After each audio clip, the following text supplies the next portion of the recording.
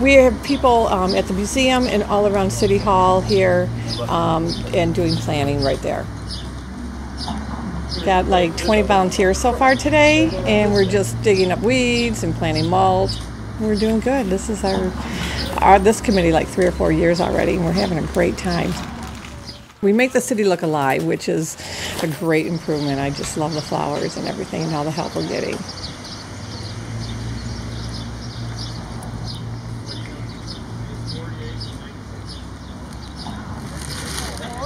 Yeah, the.